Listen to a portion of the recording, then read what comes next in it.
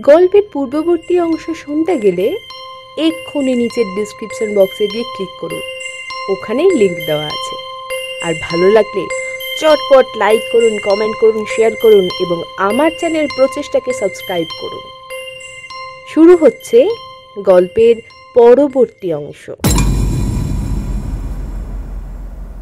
এবার সে মনটাকে দৃঢ় করে সামান্য মাথা তুলে চারিদিকটা খুব ভালো করে দেখতে থাকে। একটা মশাল সরে যাওয়ায় জায়গাটা বেশ অন্ধকার হয়েছে। তাতে তার ভালোই হয়েছে। পরমার দিকে সে আর একবার তাকালো। সে তখনও মরার মতোই পড়ে আছে। এবার সে দেখল, চেলা দুটো গাছের গুঁড়িতে হেলান দিয়ে ঝিমোচ্ছে। মনে হলো নেশাটা তাদের একটু বেশি হয়ে গেছে।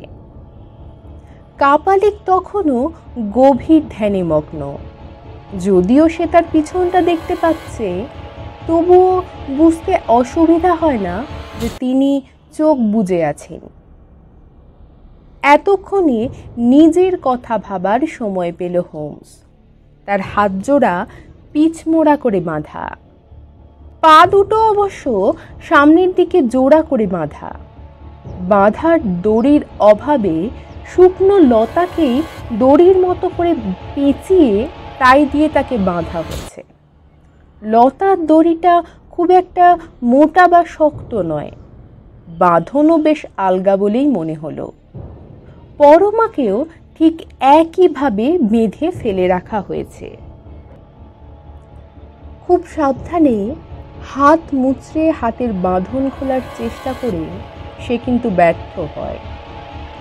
বাঁধন আলগা হলেও বাঁধনের কৌশল আছে, খোলা সোজা নয়।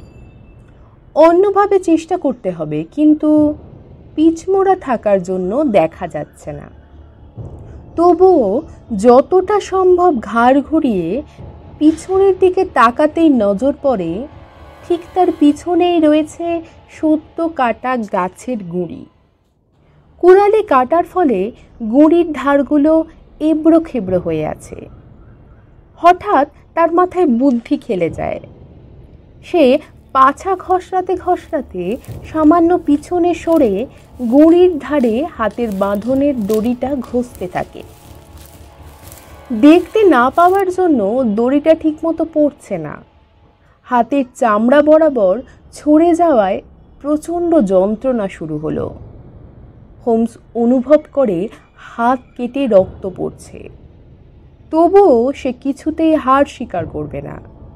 হার স্বীকার মানেই মৃত্যুর হাতে নিজের সঙ্গে পরমাকেও সঁপে দেওয়া। তা কিছুতেই সম্ভব নয়। নিজেকে বাঁচাতেই হবে, বাঁচাতে হবে পরমাকেও। সে দাঁতে দাঁত চেপে প্রাণপণে হাতের বাঁধন ঘষতে থাকে।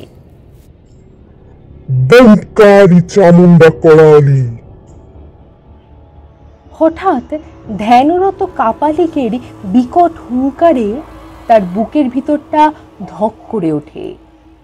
তবে কি কাপালিক তার মনের কথা জানতে পেরে গেছে? সে গাছের গুঁড়ির উপরে হেলান দিয়ে পড়ে থাকে কিছুক্ষণ। কাপালিকের হুঙ্কার আর শোনা গেল না। কিছুক্ষণ মরার মতো পড়ে থাকার ভান করে আস্তে আস্তে চোখের পাতা ফাঁক করে দেখতে পেল, কাপালিক যেমন ধ্যানে বসেছিল, তেমনই বসে আছে। আপাতত ভয় পাওয়ার কিছু নেই। ধ্যানের মধ্যে মাঝে মাঝে এরকম চিৎকার করা তার অভ্যাস। নিশ্চিন্ত হয়ে সে আবার হাতের বাঁধন ঘষতে থাকে, দাঁতে দাঁত চেপে। হাতের চামড়ার ছেঁড়া যন্ত্রণা সে অগ্রাহ্য করে। হঠাৎ হোমস বুঝতে পারে হাত জোড়া তার মুক্ত, বাঁধন কেটে গেছে। তবু হাত দুটোকে সামনে আনে না। ভালো করে নজর দিয়ে দেখতে থাকে চেলা দুটোকে।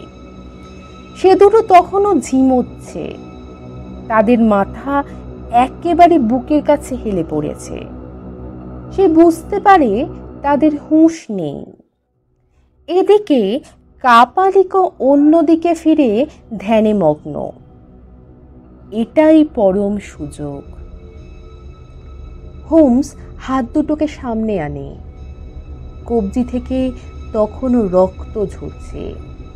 সঙ্গে যন্ত্রণাও হচ্ছে বেশ। তবুও সে তা গ্রাহ্যে আনল না। দ্রুত হাত পায়ের বাঁধন খুলতে থাকে। উৎকণ্ঠা বুকের ভিতর প্রচণ্ড ঘা দিচ্ছে। প্রতি মুহূর্তে ধরা পড়ার ভয় কিন্তু হোমস জানে। তাকে বাঁচতেই হবে, আর বাঁচাতেই হবে পরমাকে। তার সামনে সিঁদুর মাখা হাঁড়ি কাঠ আর ভয়ঙ্কর খাঁড়া যেন মৃত্যুর হাত ছানিয়ে দ্রুত পায়ের বাঁধন খুলে নিঃশব্দে হামা করে দিয়ে পরমার কাছে সরে এসে তার হাত পায়ের বাঁধন খুলে দেয় হোমস। কিন্তু পরক্ষণেই বুঝতে পারে বাঁধন খুলে দিলেও কোনো লাভ হবে না। পরমার জ্ঞান তখনও ফেরেনি। হোমসের সঙ্গে ছুটে পালানোর প্রশ্নই ওঠে না তার। আবার তাকে কাঁধে তুলে হোমসের পক্ষেও পালানো সম্ভব নয়। কিন্তু এভাবে আবার ধরা পড়ারও কোনো মানে হয় না। তাকে একাই পালাতে হবে, যদিও একা পালাতে তার মন চাইছে না। বেচারি পরমা, হোমসের দু চোখ বেয়ে জল গড়িয়ে পড়ে। পরক্ষণেই মনে হলো, এখনও হয়তো কিছুটা সময় আছে।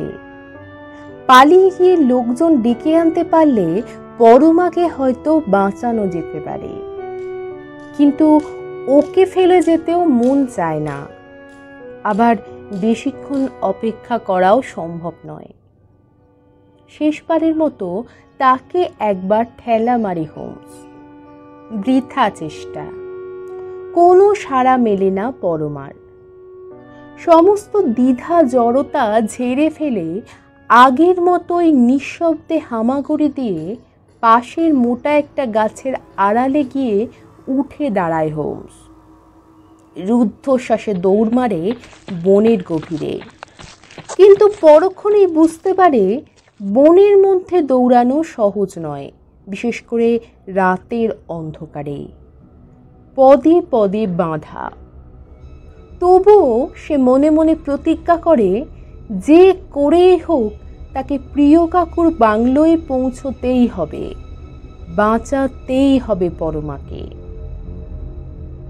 কিন্তু বনের মধ্যে সে দিশে হারা কোন দিকে যাবে সে?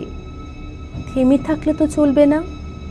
প্রতি মুহূর্তে পরমা মৃত্যুর দিকে এগিয়ে চলেছে। হোমসের চোখের সামনে ভাসে অসহায় জ্ঞানহারা পরমার মুখ, হাঁড়ি কাঠ ও খাঁড়া। কিন্তু তার মনে একটাই প্রতিজ্ঞা, যে করেই হোক ওকে বাঁচাতেই হবে। ধীরে ধীরে তার দেহ অবসন্ন হয়ে আসে। দম ফুরিয়ে বুক যেন ফেটে পড়তে চাইছে। গাছের লতা পাতায় পা জড়িয়ে বেশ কয়েকবার আছড়ে পড়ে। ঝুলন্ত নিচু ডাল বরাবর মাথায় ঠোকা খেতে খেতে মাথা ক্ষত বিক্ষত। ঝোপঝাড়ের খোঁচায় গায়ের জামা কখনো ওর অজান্তে খুলে গেছে তা ওর খেয়াল নেই। সারা শরীর বেয়ে গড়িয়ে পড়ছে ঘাম আর রক্ত। তবুও সে দিক বিদিক শূন্য হয়ে ছুটে চলেছে একই চিন্তা নিয়ে। পরমাকে বাঁচাতে হবেই। ঠিক এই সময়ে তার কানে ভেসে আসে রেডিওর গান। পরক্ষণে চোখের সামনে ভেসে ওঠে আলো। ক্রমে পরিষ্কার ফুটে ওঠে সামনে কয়েকটা কাঠের বাড়ি। হোমস উপলব্ধি করে তার শরীর আর চলছে না। সে সাহায্যের জন্য চিৎকার করে ওঠে। কিন্তু গলা দিয়ে কোনো স্বর বের হয় না। আবার সে চিৎকার করে ডাকার চেষ্টা করে, কিন্তু তা গোঙানির মতো শব্দ শোনায়। হঠাৎ দেহটা ঢলে ওঠে। মাথা ঘুরে হয়তো পড়েই যেত, কিন্তু তাকে পড়লে চলবে না। পরমার জীবন মরণ তার হাতে। তাকে বাঁচাতেই হবে। যে করেই হোক তাকে বাড়ির মধ্যে ঢুকতে হবে, না হলে পরমাকে বাঁচানো যাবে না। এবার তার ইচ্ছা শক্তি তার দুর্বল শরীরের বিরুদ্ধে বিদ্রোহ করে ছুটে চলে বাড়িটার দিকে। সে উন্মাদের মতো কাঠের বারান্দায় দুমদাম করে আওয়াজ তুলে বন্ধ দরজার উপর আঁচড়ে পড়ে। কে? কে বাইরে? ভিতর থেকে পুরুষের কণ্ঠস্বর ভেসে আসে। কিন্তু জবাব দেওয়ার ক্ষমতা হোমসের নেই। তার গলা থেকে শুধু গোঙানির আওয়াজ বেরিয়ে আসে। তারপর আবার সে শব্দহীন অন্ধকার জগতে তলিয়ে যায়। চোখে মুখে জলের ঝাপটা পড়তে ধীরে ধীরে আবার সে ফিরে আসে আলো এবং শব্দময় জগতে। প্রথমেই চোখের সামনে ফুটে ওঠে বর্ণময় আলোর জাল। তারপর আলোর জালের সুতোগুলো পরস্পর মিলিত হয়ে এক একটা আকারের রূপ নিতে থাকে। প্রথমে যে রূপটা আকার নিল, তা যেন মায়ের রূপ। পাশে পাশে আরও কয়েকজন। মা হঠাৎই অস্পষ্ট স্বরে মা ডাকটা বেরিয়ে আসে তার মুখ থেকে। এখন কেমন লাগছে, বাবা? সে যেন ঠিক মায়ের গলায় শুনতে পেল। জ্ঞান ফিরেছে জ্ঞান ফিরেছে। পাশ থেকে আরও একজনের গলা শোনা গেল। এখন কেমন লাগছে, বাবা? হোমস বুঝতে পারে ইনি তার মা নন তবে মার মতোই স্নেহ মাখানো কথা বলেন। আমি কোথায়? সে উঠে বসার চেষ্টা করে। এই তো এখানে আমাদের কোয়ার্টারে তুমি। এখন উঠো না ভয় কি? আমরা তো আছি।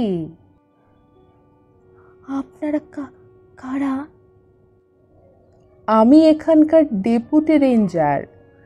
তুমি এই রাতে অন্ধকারে বনের মধ্যে কি করে এলে?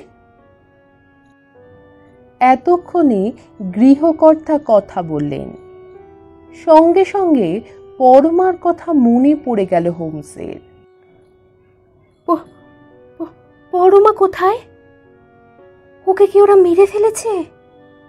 এগারোটা কি বেজে গেছে? কে পরমা তাকে কারা মেরে ফেলবে? এগারোটা পাঁচ কি বেজে গেছে? না এখনও বাজেনি। বাজেনি? তাহলে পরমা এখনও বেঁচে আছে। ওকে বাঁচান। আপনারা ওকে বাঁচান। এগারোটা পাঁচ বাজলেই ওরা ওকে মেরে ফেলবে। হোমস কাতর কণ্ঠে আবেদন করতে করতে জোর করে উঠে বসার চেষ্টা করে।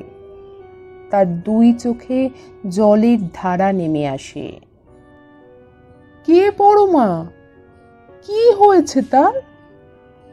এগারোটা পাঁচ বাজলে কারাই বা তাকে মেরে ফেলবে? কেনই বা মারবে? ভদ্রলোকটি জানতে চাইলেন, সেই মায়ের মতো মহিলাটি কখন যেন বেরিয়ে গিয়েছেন ঘর থেকে। তিনি এক গ্লাস গরম দুধ নিয়ে আবার ঘরে এল এইটুকু খেয়ে নাও বাবা। বলে তিনি গ্লাসটা তার মুখের সামনে ধরলেন। ওরা যে পরমাকে মেরে ফেলবে ততক্ষণে। ওরা কারা? কেনই বা মেরে ফেলবে? ভদ্রলোকটি আবার জানতে চাইলেন, কিন্তু হোমসের আর কথা বলার মতো অবস্থা নেই। সে হু হু করে কাঁদতে থাকে। দাঁড়াও, ওকে আগে দুধটুকু খাইয়ে দিই। তারপর তোমার যা জানবার আছে তুমি জেনো। মহিলাটি সস্নেহে তার পিঠের উপর হাত রেখে মুখের সামনে দুধের গ্লাসটা ধরে বলল, তোমার কোনো ভয় নেই। পরমাকে কেউ মেরে ফেলতে পারবে না। উনি হলেন এই বনের কর্তা। পরমাকে উনি ঠিক বাঁচাবেন। এখনও এগারোটা পাঁচ বাজতে বেশ কিছুটা দেরি আছে। ততক্ষণে দুধটা খেয়ে নাও আর ওনাকে সব কিছু খুলে বলো। তা না হলে উনি বুঝবেন কি করে? আর পরমাকে বা বাঁচাবেন কি করে? মহিলার কথায় কাজ হলো। তাছাড়া সেই দুপুরের পর এখনও পেটে কিছুই পড়েনি। সারা সন্ধ্যায় শরীরের উপর ধকল তো কিছু কম পড়েনি। অনিচ্ছা সত্ত্বেও দুধটুকু খেয়ে সে জানতে চাইল, এখন ঠিক কটা বাজে? হাতঘড়ির দিকে তাকিয়ে ভদ্রলোকটি জানালেন ঠিক সাড়ে দশটা। তাহলে এখনও পরমা বেঁচে আছে। কিন্তু এগারোটা পাঁচ বাজলেই অমাবস্যা শুরু হয়ে যাবে আর তখনই ওরা পরমাকে বলি দেবে। ওকে ওকে আপনারা বাঁচান। অমাবস্যা বলে পরমাকে তোমার পোষা পাঠা? না না পরমা পোষা পাঁঠা নয়। প্রিয় কাকুর বাংলোয় মালির মেয়ে। ওরা আমাদের দুজনকে ধরে এনেছিল বলি দেবে বলে।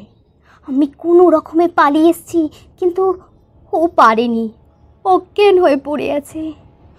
ওরা নিশ্চয়ই কান্নায় কথা জড়িয়ে যায়।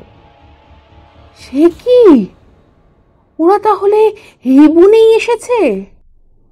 ওরা কারা গো? বেআইনি শিকারীরা অসম থেকে কয়েকজন তান্ত্রিক এনেছে। গোপনে পুজো করবে বলে। সে খবর আমার কাছে আছে, কিন্তু ওরা যে আমার বিটে এসে ঘাঁটি করেছে তা তো জানতাম না।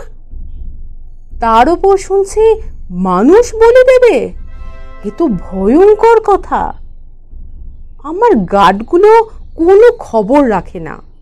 যত সব অপদার্থের দল। হোমস আপন মনেই বলে চলে, ওরা তিনজন কাপালিক। অমাবস্যা শুরু হলেই আমাদের বলি দেবে বলে ধরে রেখেছিল। আমি পালিয়ে এসেছি।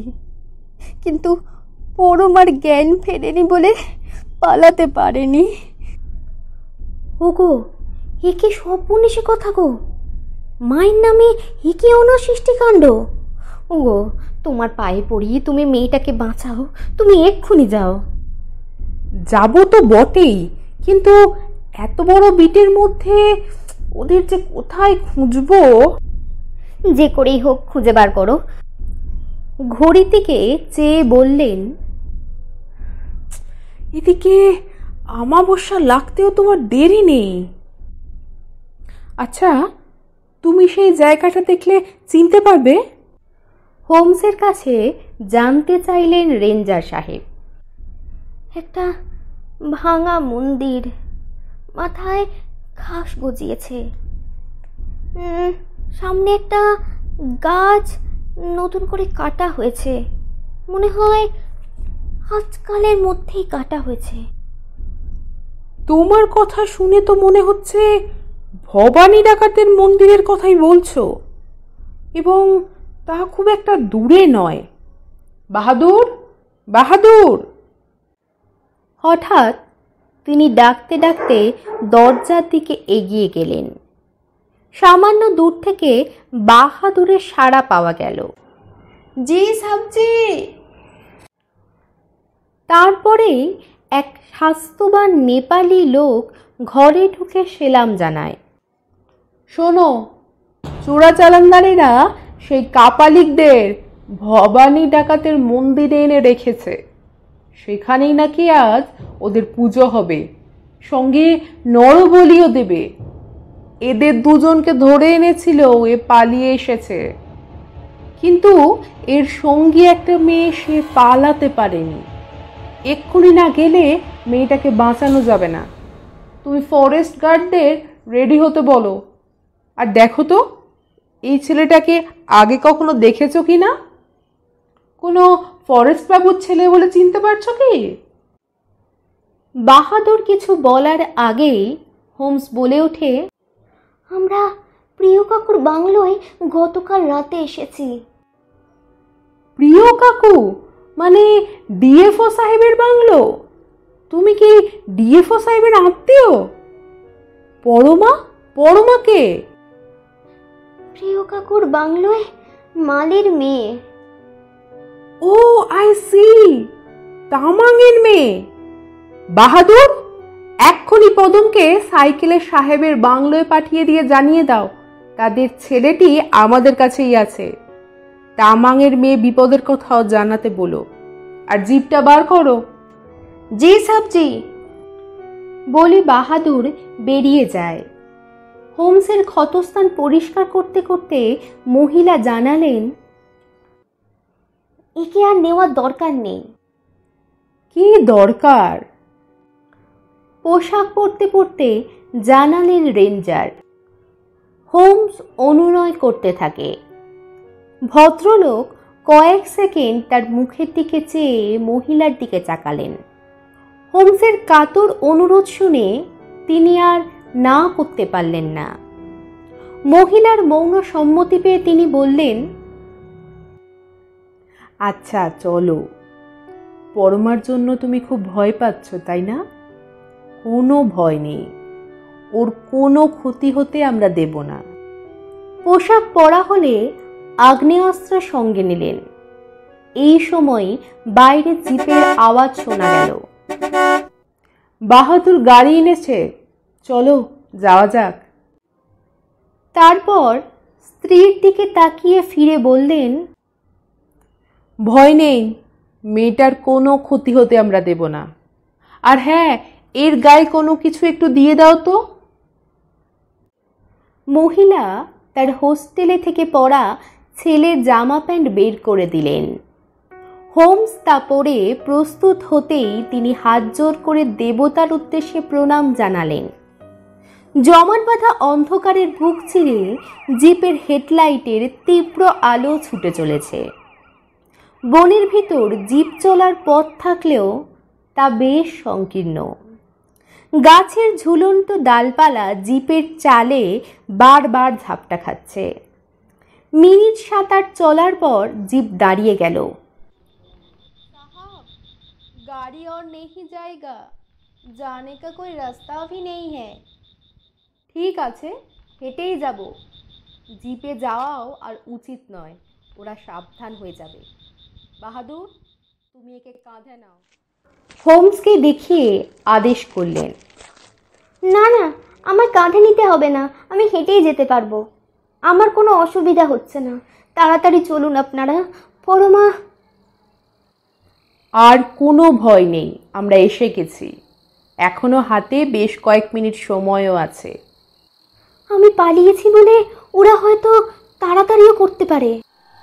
সাহাব, এই ভয়টা আমারও করছে। জিপের ইঞ্জিন বন্ধ করে নেমে আসতে আসতে বাহাদুর বলল, তা হয়তো করবে না। অমাবস্যা না হলে তো পুজো আরম্ভই হবে না। তাছাড়া ওরা হয়তো ভাবছে, অন্ধকারের মধ্যে গভীর বনে ছেলেটা রাস্তা খুঁজে পাবে না। সে যাই হোক, তাড়াতাড়ি চলো। পিছনে তখন অন্যেরা গাড়ি থেকে নেমে পড়েছে।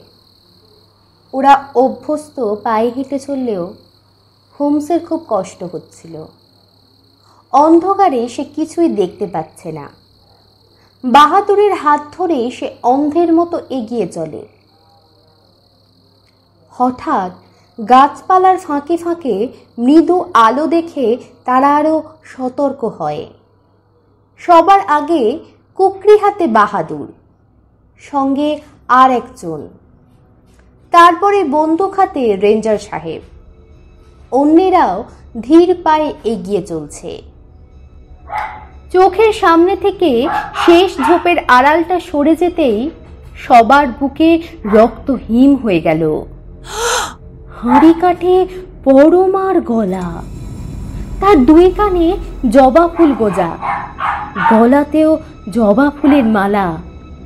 বোধহয় স্নান করানো হয়েছে তার সর্বাঙ্গে জপচপে ভিজে। হাত দুটো পিচমোড়া করে বাঁধা। যদিও তার দরকার ছিল না।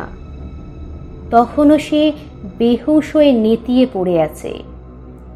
মাথার নিচেই বড় সড়ো একটা মাটির মালসা তাতে ছাড়ানো কলা একটা। মাথাটা ছিন্ন হয়ে ওই মালসাতেই পড়বে।